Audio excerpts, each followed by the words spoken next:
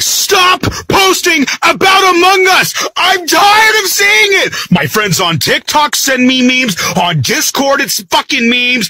I was in a server, right? And all of the channels are just.